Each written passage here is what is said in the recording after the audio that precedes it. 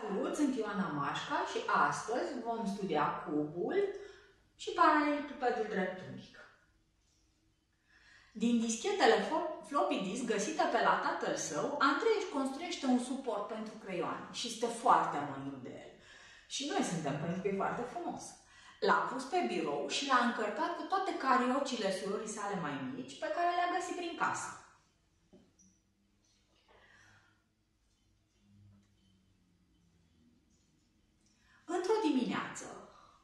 O furnicuță, la fel de încântată de suport ca Andrei, pornește pe suprafața laterală din punctul A până în punctul A', intersectând pe rând muchile BB', CC' și DD'. Să vedem mai exact. Deci, furnicuța pornește de aici, intersectează, notăm punctul A, B, intersectează muchia BB', intersectează muchia CC',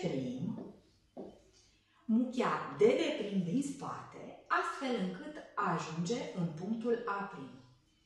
Bine, era mai simplu să urce direct, dar ea a vrut să vadă și să inspecteze întreaga cutie suport pentru creioane. Știm că o dischetă floppy disk are forma unui pătrat cu dimensiunea de 3,5 inch iar pe la îmbinături să mai pierd câțiva milimetri. Haideți împreună să aflăm care este lungimea drumului furnicii. Știind că desfășurarea unui cub este cea de mai jos din figură, haideți să pornim la treabă. Deci, furnica noastră este în punctul A. Trebuie să ajungă în A', aici, dar cum?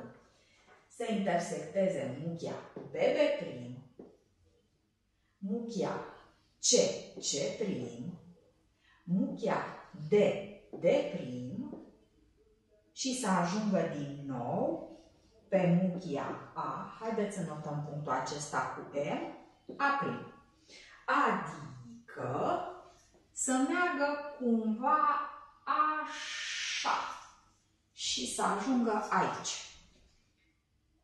Asta înseamnă că drumul cel mai scurt este, pe unde vrea să și-l aleagă, respectiv acesta, cu o mică întrerupere, bine, furmica.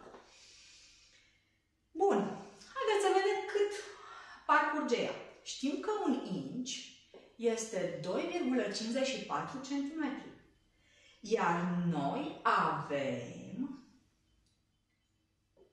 2,54 cm cât este un inch și discheta noastră măsoară 3,5 inch, de aici ne rezultă că unul dintre segmentele AB, BC, CD, fiecare dintre segmentele AB, BC, CD și DA are lungimea de 2,54